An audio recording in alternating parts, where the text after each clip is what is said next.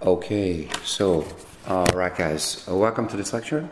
We are going to talk about this is going to be the next subject. So, we are going to generalize the autoregressive conditional heteroscedasticity. Let me just uh, okay see whether this is working, but it seems to.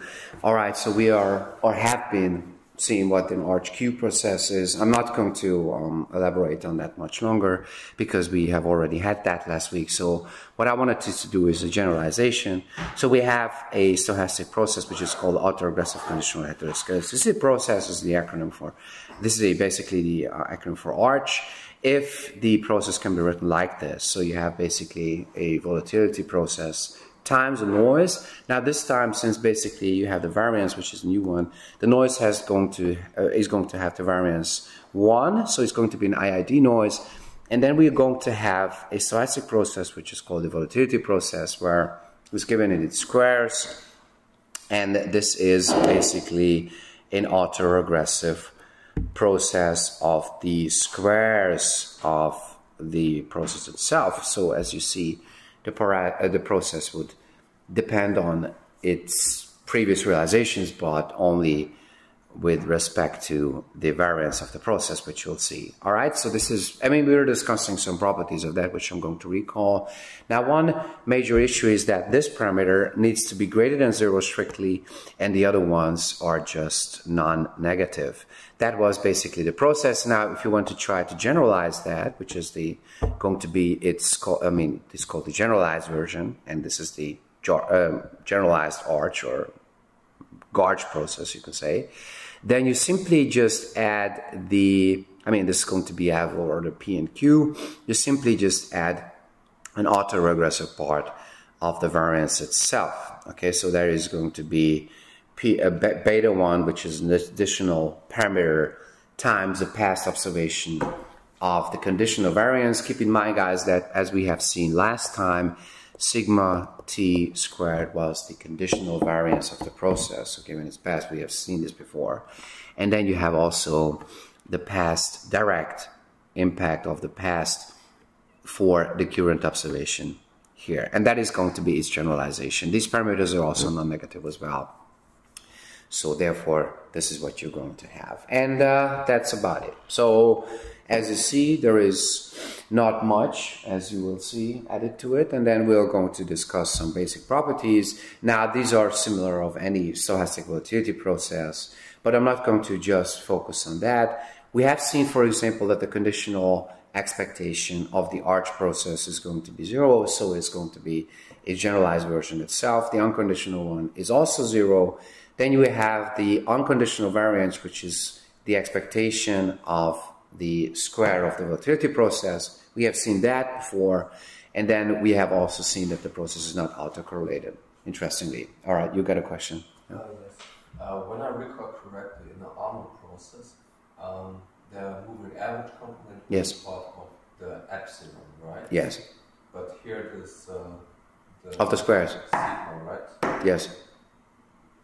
You give us an intuition? Yes, I will do that. So I will introduce today basically the intuition as well. So as you might see, I mean, the issue would be that if this, I mean, if the process fo follows an arch process, this implies basically an autoregressive process of the squares. That was it, you know.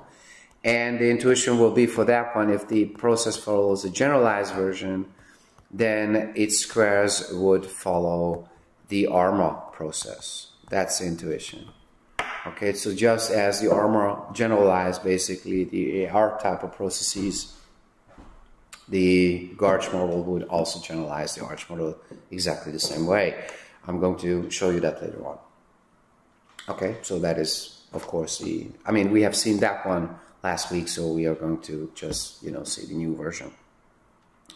But it has the same properties as the old one. Keep in mind that there is no autocorrelation which is quite surprising, although it depending on his past, but not with respect to its current observation. But there is going to be dependency. So there is going to be serial dependency basically for the process, and that's something that you would need to see later on. Okay, no autocorrelation, but serial dependency. That is a very famous example for that. Now, we have seen before that the process is stationary because if and only if, of course, the unconditional variance does not depend on time. So that is the only issue you might be focusing on because the expectation does not depend on time and neither does the autocorrelation. So if stationarity fails, it is due to the variance, of course, right? That's, that's for sure. So the process is going to be stationary if and only if its variance is time independent as you basically might guess. All right, so that, that expression basically is the only expression that you need to focus on when it comes to stationarity. And we're going to look at that one as well. Okay, so and that's the same property for the Garch type process as well. So there is nothing that changes for that as the arch is basically, you know, serially uncorrelated expectation zero and the conditional expectation which is going to be zero. So as the Garch process not much changes, and the, and the unconditional variance is the same expression. So there is no changes regarding that. Now, what about basically the conditional variance, as we've seen the conditional variances? This expression is sigma squared, which is basically the square of the volatility process. That is the same, basically the property as for the arch process, nothing and that is going to be also the, the issue for the Garch type of processes. So this is called conditional heteroscedasticity because the volatility process is, or the variance process, let's call it that way, the conditional variance is depending on time in that regard. So heteroskedasticity means that the variance depends on time, all right? And homoskedasticity means that it does not in a certain way. Not just that, but it's going to be also stochastic. So in this case, there is a stochastic conditional variance, which it is here. This is a process. All right, so that's something that you need to understand here. Whether the process is stationary or not, its conditional variance is time dependent. All right, that might be sounds sounding counterintuitive, but keep in mind that for stationarity, um, we don't need to have the conditional variance to be time independent. It's enough basically for the unconditional variance to be time independent. And that is sometimes the case under certain circumstances. Now, what, what, what's going to be the certain circumstances? I'm going to show you later on, but that's not what I'm talking about. The, uncon- the conditional variance is always going to be time dependent no matter what, even the process is stationary, right? Under circumstances. Now, the generalized version is going to be the same, except for the fact that the volatility process is specified differently, okay? But apart from that, there is not much changes actually. So this is just basically it by its definition, nothing else. Okay? And that is also true for the Garch process. So and only if, basically, I mean, if the process is stationary, the conditional variance is going to be time dependent all the time. Okay, we have seen this last week, but there is the new generalization in which I'm going to add to it. So not much big of a deal, actually, right? Anyways, okay, so that's what you'll have now regarding the stationarity of the arch process. You'll find, I mean, that is going to be the same issue. I mean, we're, let's recall what the stationarity for the arch process or stationarity condition was. The process is stationary if and only if the sum of these parameters, okay, alpha 1, starting by alpha 1, is less than 1. We have seen this last week. And let me just basically remind you on that. Okay, so the sum of these parameters, of course, alpha 0 is excluded. Okay, so that's not part here of the sum. But apart from that, okay, you have every single parameter in it. Okay, that's something we have seen. This is equivalent to the uh, basically the issue that 1 minus the sum of these parameters is going to be greater than 0. Nothing basically is special here. And then for the generalized version, okay, so you need to understand that if the process is stationary, then its unconditional variance look like this. So you might see why, um, I mean, this is the condition, okay, that you see, or in particular, wait a moment, um, that one, okay, why is that the condition? This is basically the condition because otherwise the variance of the process would be negative. Okay, so that would not work, so you would not come this far if it was even if equal to 1, because then the variance would not be finite, okay, you would not come this far. But if basically it would be greater than 1, then this expression would be negative, which is a contradiction, so that would not work. Okay, so if that is true, then the variance look like this, and if this is not true, then the variance does not look like this. So then it's going to be basically expressing you that the um, that stationarity or for stationarity, it is equivalent, okay? It is equivalent for the sum of the parameters to be strictly less than 1.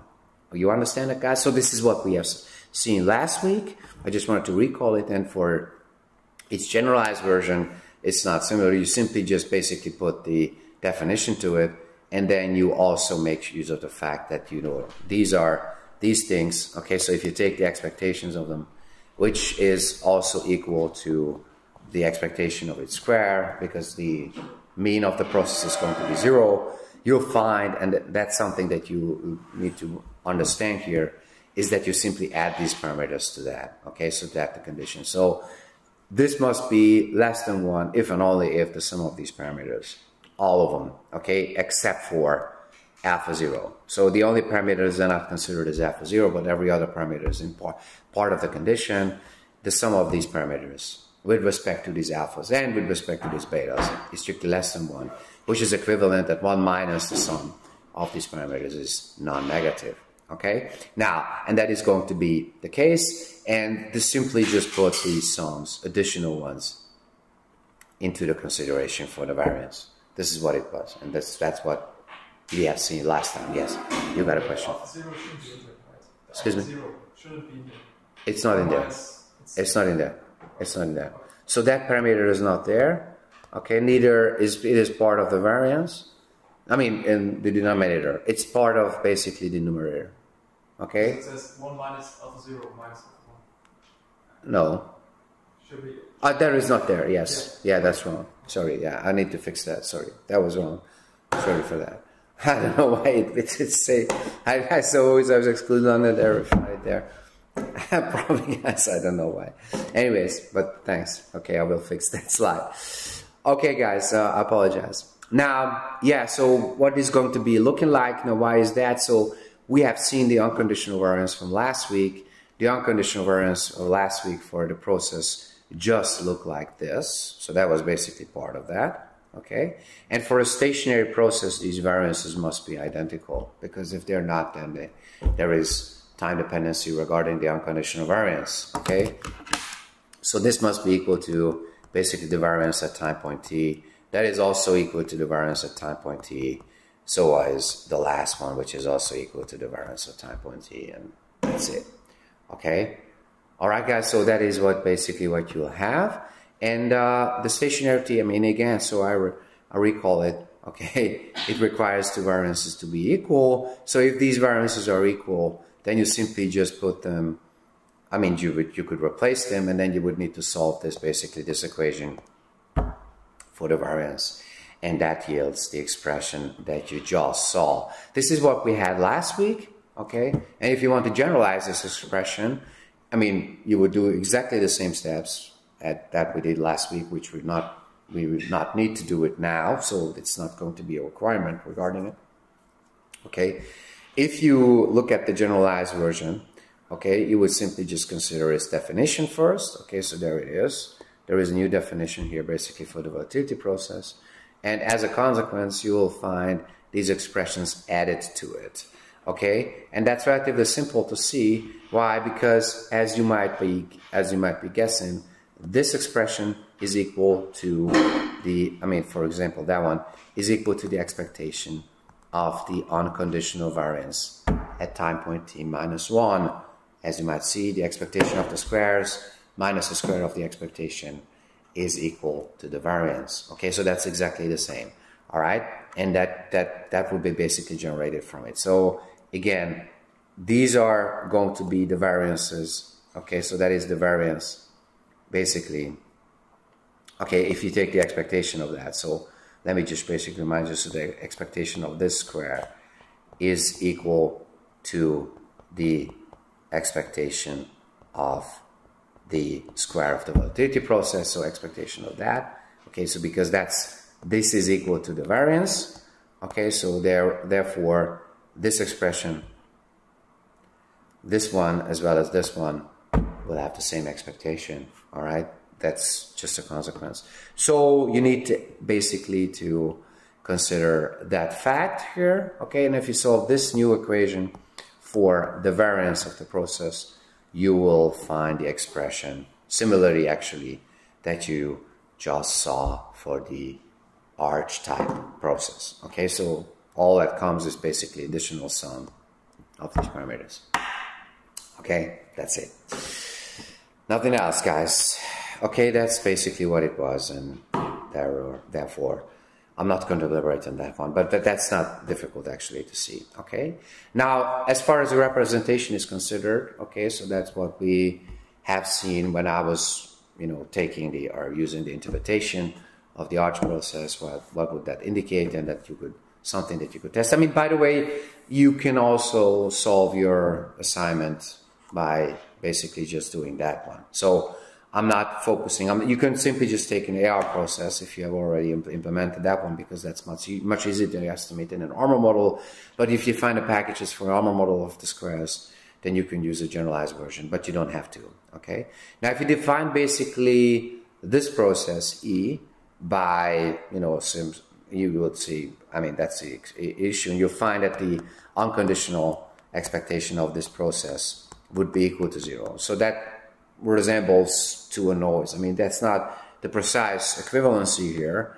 Okay, so that's not a noise necessarily because there is not necessarily an autocorrelation, but you can also look at that way as well. Okay, so if you do the expectation, the expectation of a difference is a difference of the expectations, and these things are equal. So that's going to be, as you've seen before, so that's going to be equal to zero.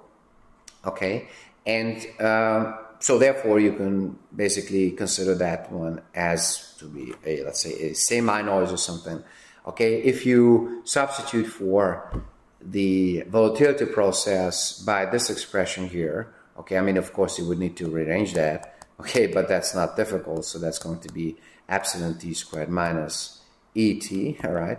So that's basically it, and then you will substitute it here. Then you can express basically the current observation of the squares as an autoregressive model where E is supposedly be the noise of the process. So that implies basically an autoregressive model of the squares and of order q, of course, because that's the order of the arch process. I mean, we have seen this before last week. Okay, so that's nothing new. Now, if you take the realization, okay, so again, arch implies an AR model of the squares, which is not difficult to see. So you can test this, okay, simply just taking the squares of the process, okay. For example, you take the asset returns and then you square them and try to estimate an AR model, and if this AR model is significant at say at the 5% level, then you could basically argue that the data shows some conditional heteroscedastic effects. Okay, so you can also basically come to the conclusion because that's again, so an arch model is relatively difficult to estimate. But again, I mean, relatively speaking, because for an AR model, you simply just use an R OLS. But keep in mind, that's just testing the effects, not establishing how the equation would look like because these are not going to be necessarily, if you estimate these parameters, these are not going to be the parameters, not necessarily going to be in arch um, model. So you might get basically different results if you re try to re-estimate the process. Okay, but you would try to basically just establish whether it has some orange Koch effects or not. Okay, so that's one way to do it.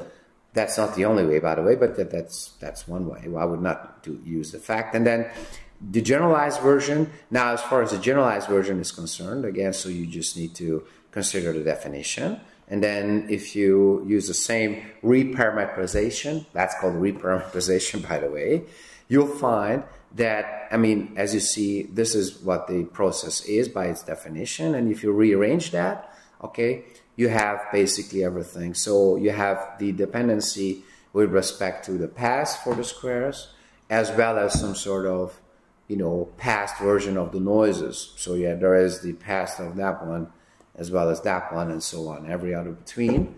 So there is the lag version of the noise, and if you put the lag version of the noise into the model, that generates a moving average part, and then this moving average part is added to the autoregressive part.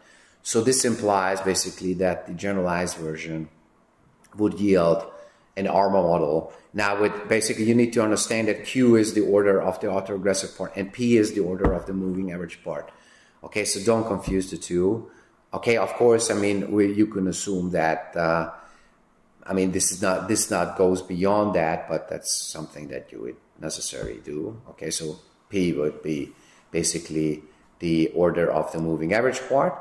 Okay, and then there is a reparameterization. So you would have basically the sum of two parameters yielding basically the uh, AR component of the squares. Okay, so for the first leg, and that's that's it. But that's just a reparameterization, so you don't need to take care of the fact that whether Q or P is greater. Okay, doesn't really matter. Okay, but the order here is different. So P refers to basically the order of the generalized part, where you would have the condition of variance included into, I mean, the path of the condition of variance into the, included into the process itself. And then Q is the order basically of the arch part, but that's it. Okay, so that is referring to the autoregressive part of the squares within the condition of variance process. Okay, okay, so don't, don't be confused by that. But that's basically the intuition. Now, again, in the ARMA model is actually an AR model eh, for, or which, which is a relatively large AR model, let's say. Okay, so when you look at these reparameterizations, that was intuition. So why would you use an ARMA model instead? Because one of the reasons is basically it has fewer parameters. So since it has fewer parameters, it might be more practical to estimate it. Okay, that's one of the reasons. I mean, we discussed that as well. Okay, so regarding these reparameterization, so if you if you have you find that the AR model, let's say you use information criteria and you find that the AR model is relatively large that you would try to estimate, and you can use that one, this explanation for your current work. Okay, so whenever you try to establish an AR model of a certain order and you find that the order is relatively large, then by the end you could argue that you would basically rather consider estimating an ARMA model instead, but you don't need to. Okay, so that's not any necessity because again, I told you before, it's much easier to estimate an AR model in general. Okay, but there are packages that you could use if you like, but you don't need to. So you don't need to go be this far. Okay, but you could incorporate that part also if you like, but you don't need to. So I will not take that for granted because this is one day before you run out of time. So why would I use that one? Anyways, guys. Okay, so that's the intuition. I hope it's, it's becoming clear, and uh, that's basically also the intuition for the the generalized autoregressive conditional heteroscedastic model. So these things relate to each other just as the way as AR and ARMA models relate to each other. That's these are the parallels. Okay, and uh, again, since ARMA models are, let's say, or I mean, not equivalent, but let's say are from the practical perspective, just from the practical perspective, relatively large. AR models, okay, just as the way basically as arch processes. So if you find the order of the arch process to be relatively large, right?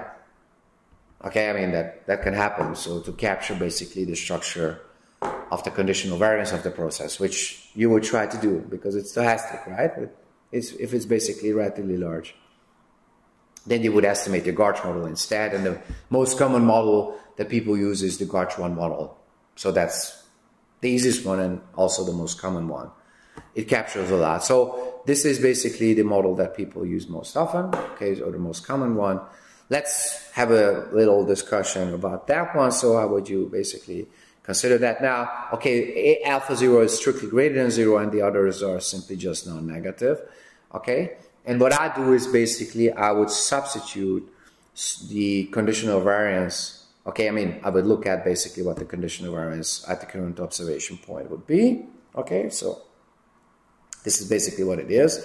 And then if you basically do that one, so the current observation, I mean, the observation time point t minus one, you would substitute for here.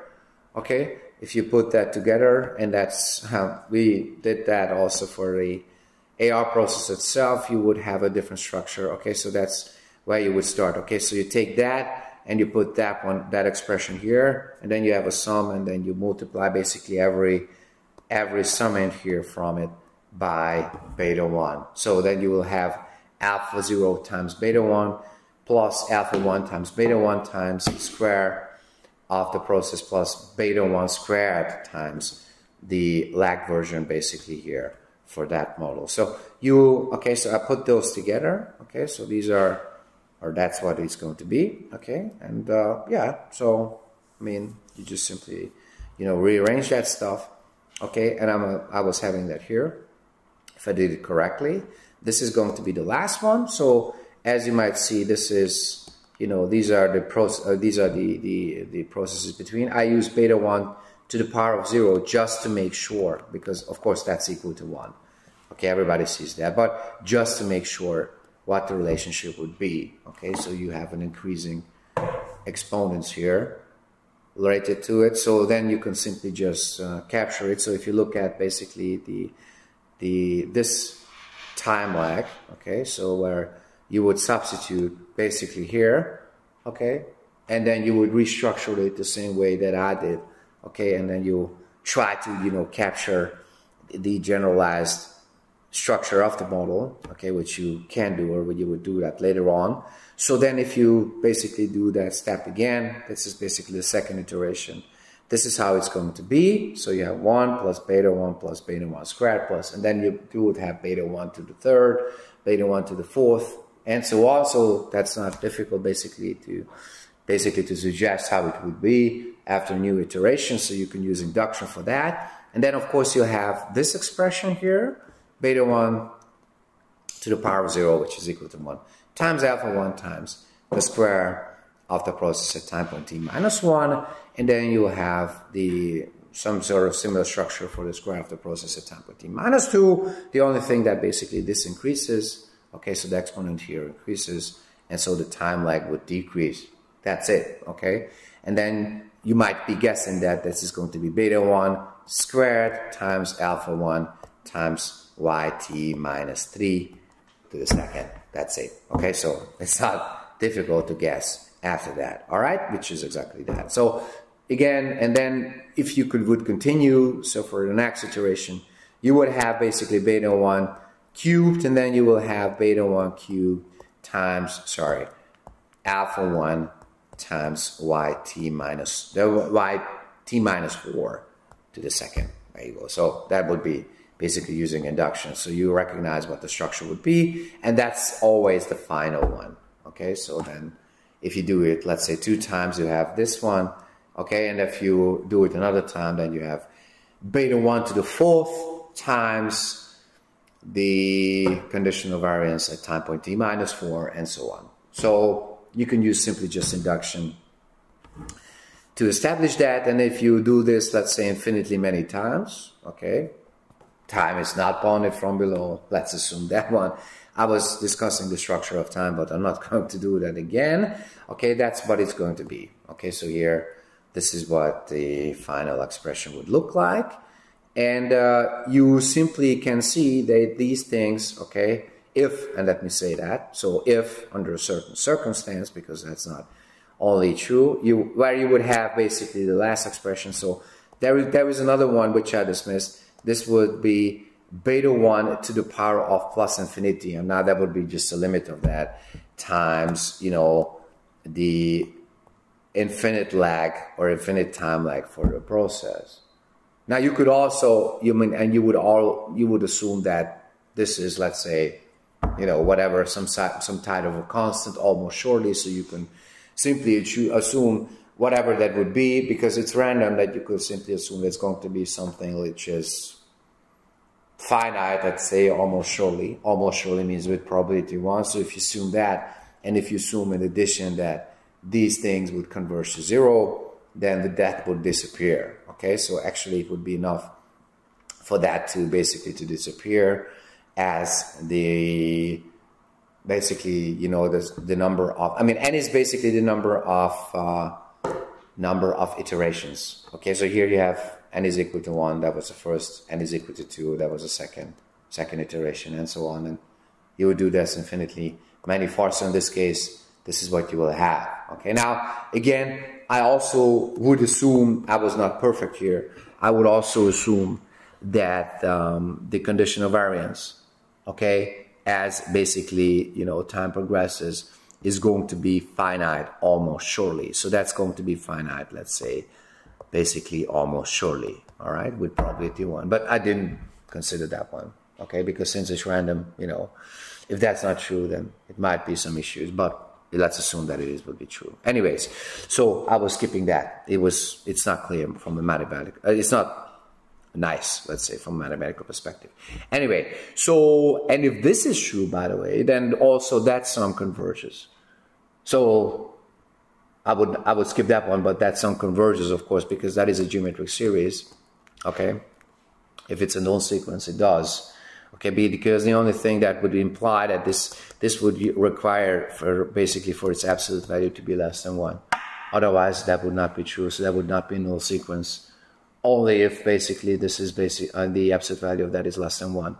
Okay, so that is only true if and only if its absolute value is less than one. So in that regard, that sequence is finite, and then you'll have the following limit. So in this case, the limit of that is simply just 1 by 1 minus beta 1. Okay, so according to the geometric series, I mean, everybody, I think everybody has seen it before. Okay, so which I put over here. Okay, so if that is true, okay, but you cannot dismiss that one. Okay, so there is no way to to skip that one. And uh, yeah, but it doesn't really matter. So if basically the absolute value of b b is less than one, now the condition would be that basically that b beta one is between negative one and one, but this parameter is not negative. So it's going to be basically between 0 and 1. Okay, it can be 0 by the way. But that's that's why it was it was adjusted. Okay, so again keep in mind guys, this parameter is not negative. Okay, so there is no way basically that the parameter would be basically somewhere between negative 1 and, 0. Okay, so that's, that's not going to happen. All right, now this is, as you see, and let me go back a little bit. This is, okay, an AR model, okay, and uh, of order infinity for the squares, right? So, as I was basically illustrating that before, okay, this, this, this, this implies a relatively large AR model for the squares. So Garch implies that, and relatively large AR model for the squares is basically indicating an ARMA 1 1 model. So you would basically rather say, I mean, since we, we start from here, if the process follows the Garch 1 1 model, this implies an ARMA 1 1 model for the squares. Okay? Which you can say. So you would rather choose to estimate a model like this. You understand what, what I'm saying, guys? So this illustrates exactly the same issue that we discussed prior when it when it came to the, intuition for introducing moving average parts or moving average components here for the noise, which you also would consider basically as a generalization because these effects regarding the conditional variance can be relatively large when it comes to S terms. I'm kind of, I'm basically kind of excited about what kind of AR models you would try to, I mean, basically you would try to establish, okay, when it comes to, you know, looking at ARCH and Garch effects. And uh, yeah, so that's um, basically what I'm looking for. So you can, again, you can use that fact. Okay, so if you find basically the models to be relatively large, that maybe your information criteria you would try to estimate, then you could also, you could go a step further and say, okay, we would, um, let's say either, I mean, you would say, okay, the squares would follow an ARMA model, which indicates basically the generalized version of the process. Okay, for when it comes to the artifacts. Yeah, so I hope basically that that fits to your purpose. And uh, again, so that's the most common one, I think. Maybe our Garch 1-2 or 2-1 process, but 80% of the time that's going to be it. Yes? In the instance of uh, when we have maybe not so many legs from the information criteria, uh, but the, the function of the information criteria is, is not increasing that much after after the optimal point. Would this also be an indication of, of a Garch structure? Could be the case again, and so the information criteria would definitely tell you what you know what type of model you would uh, it would choose most of the time. So I haven't basically seen that anyways. Okay, I would not evaluate basically every single point, but usually when you implement these information criteria, I mean, I use packages that, that will display basically the, the, the, the model selection also. Okay, so again, you don't need to um, estimate that, but if you find basically your, the, your AR model is relatively large, at least basically for the Schwarz criterion, then you could basically automatically come to the conclusion that you would choose the generalized version instead, whatever the generalization would be. Okay, so, but again, it's also subjective. So I admit basically this is not I mean, this, this is ambiguous in that regard, so how to approach that issue. But the, the fact of the matter is that um, there is no general way to do that. So it depends on how you justify it, basically. It's relatively difficult, by the way. It's relatively difficult to justify your model selection. But uh, there is no necess- necessary right or wrong in that in that case, you know, I'm just basically looking for the justification. That must sound plausible in that sense. So that must be plausible. But uh, basically, you could have the issue that two different people with the same data will come to two different conclusions. It happens. Okay, because there is advantages and disadvantages for everything, right? I mean, that's but that's uh, again. So if nobody knows what the true model is, there's always model risk involved, and I mentioned that before. what would you do? What I'm going to do? Okay. I'm not. I, am not able to basically to to drag out my the, the true model from my bottom. So huh, nobody will tell me what the what the model would be. All right, but that's an issue. So, but again, now if I hope this is more. I mean, I, I admit basically I didn't fully answer your question, but the question is what, what I'm going to do then. You know, how would you how would you do that? So you need to play with that a little bit. And uh, but uh, keep in mind, guys, a good model is always a simple one. Okay, so it's not difficult basically to to justify, let's say, a Garch one one type of model in that regard. And last think so. And people use that as the logical consequence most of the time, but it depends, right? Okay, so as uh, usually ARMA 1-1 type of model. So if the process is stationary, then, and you would see, okay, and then you can simply just, you know, calculate the expectation of that because the expectation of a sum is the sum of the expectations.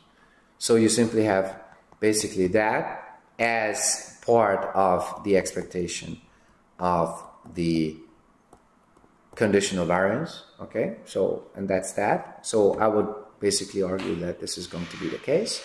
Now, what happens here is basically if these, these things are equal. Okay, so if you want to solve that, then you can simply just do the same thing. Because this is going to be equal to 1 by 1 minus beta 1 as well. Okay, so that is not a surprise. And if you rearrange that stuff, so you will, because that sum converges if this is true, and let's assume that it is true, so then you would have a convergence here. And then you have 1 minus 1 by 1 minus beta 1 also. So that would yield basically alpha 0 times 1 by 1 minus beta 1 plus alpha 1 times 1 by 1 minus beta 1 for the variance. And then you solve it for the variance. Okay, so for the variance you're going to have, and that's what you'll find there if you basically just do that. So continue, and and that sorry, one the variance times you know 1 minus 1 by alpha 1, sorry, alpha 1 times 1 by beta 1 is going to be the right hand side of this equation, that part, okay, so sorry, not this far, this far. And if you divide by 1 by 1 minus alpha beta 1, because 1 minus alpha, okay, so if you basically extend this, this is going to be 1 minus beta 1 time divided by 1 minus beta 1, of course. So you have the common denominator, so that's going to be 1 minus beta 1 minus alpha 1 in the numerator. Okay, so that's what you'll have uh, here. And then if you divide by that, you'll simply just, you know, cancel 1 minus beta 1. So you're going to have alpha 0 divided by 1 minus beta 1 minus alpha 1. That's going to be the variance. Okay, so if you solve this, it's not difficult, but I was skipping that one. So this comes back to the stationarity condition regarding the variance. And uh, that is consistent with it. So this is what it was. All right, guys. Yeah. And um, that's that's it. Okay, so if that this is basically the case if the sum of the parameters is of course less than one. In addition, so you have that one, we have those, and we have that. Okay, so there is a lot of combination regarding these restrictions here for that as well. Okay. So yeah, if the process is stationary, of course. So that sta- that is basically both sufficient and necessary for stationarity of the process. Anyways, but that's just you know capturing the the unconditional variance of the process.